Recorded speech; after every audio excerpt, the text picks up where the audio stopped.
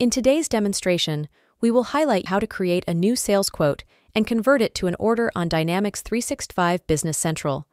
I will start by clicking on the new Sales Quote action in my Role Center. If you do not have the same action available, you can use the search function. Now, the Sales Quote page opens. This is my Sales Quote document with a number of fast tabs like General, Invoice Details, and so on, as well as lines. First, I will enter my customer. In this case, I will choose one of the existing customers, Trey Research.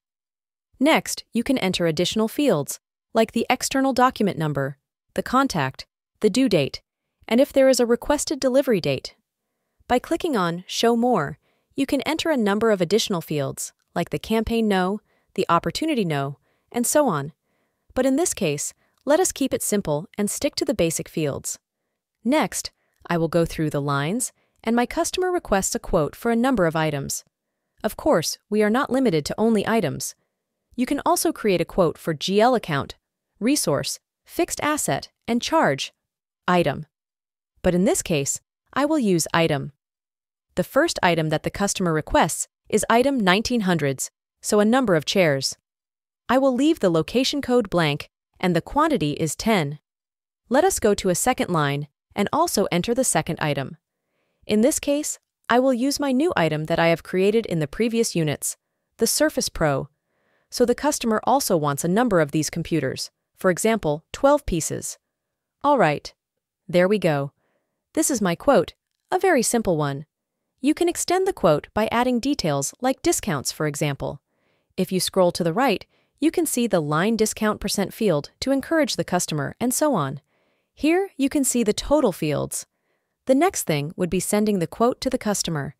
Notice that by clicking on Print Send, there is a Send by Email action that I can now run to send the PDF quote to the customer. If the customer accepts the quote, I can convert my quote to an order. Now, if you click on Process, you will see that there are two options. You can Make Order or Make Invoice. Suppose that you have a quote for services, you may skip the Make Order step.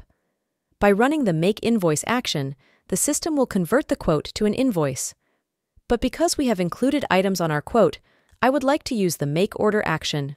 So, I will click on Make Order and Yes. Now the quote has been converted to an order. In the last step, I can also have a look at the order. Let us do this. I will click on Yes again. Here we can now see the sales order. All of a sudden, Business Central is showing notifications, telling me that both items are not available. When entering items in a quote, the system does not check the availability because we are not yet sure that the customer will accept the quote. At the moment of entering into quote, the availability is not so important yet.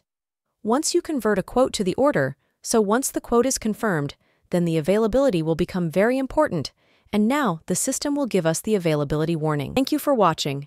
If you have any questions, feel free to contact us and follow our YouTube channel for more content just like this. Have a great day.